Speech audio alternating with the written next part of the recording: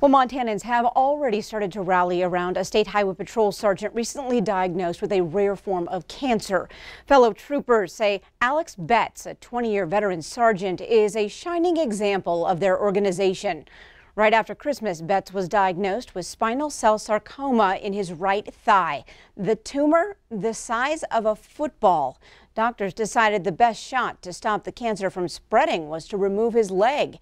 Betz is in good spirits, but says it's hard adjusting to the new normal.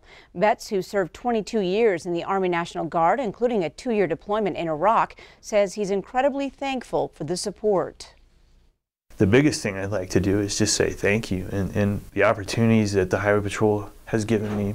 I know sometimes there's some bad situations I've been in, but for the most part, we're we're just dealing with good people that may be in a bad, having a bad day, and and I hope that maybe I have been able to help those folks. It's been a it's been a pleasure.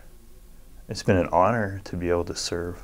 It really has, and uh, that's what's so hard about this is I had planned to serve as a uniformed officer for probably seven or so more years, and, and this has affected that a little bit.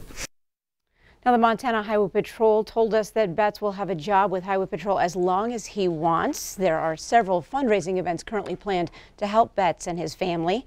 He will still need to make regular trips to Salt Lake to be fitted for a prosthetic leg and rehabilitation to learn how to walk again.